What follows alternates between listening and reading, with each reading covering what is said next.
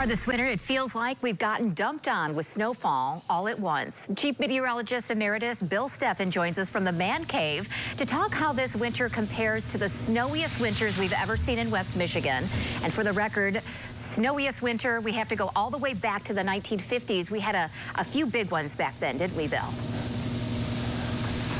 That was an enormous winter snowfall-wise. It came early with two feet of snow during the first couple weeks of November.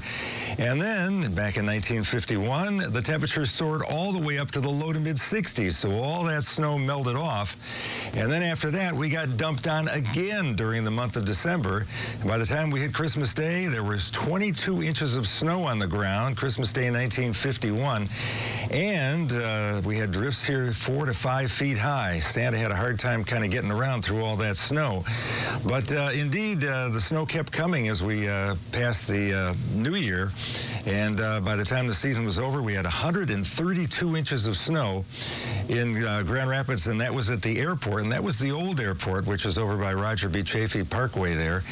And we had 144 inches in downtown Grand Rapids. Some lakeshore areas were up over 170. So that was the snowiest year we ever had. That was back in 51, 52. Wow. And I remember the next snowiest winter, 2013-14.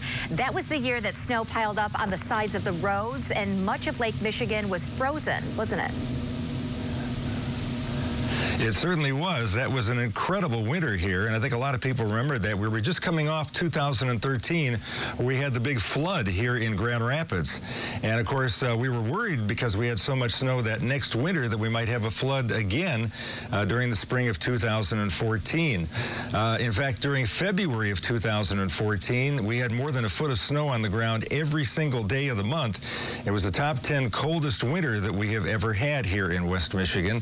So indeed, it was was uh, it was a chilly one. That was again uh, back uh, about 10 years ago, 2013-14. Yeah, I remember walking out onto Lake Michigan that year.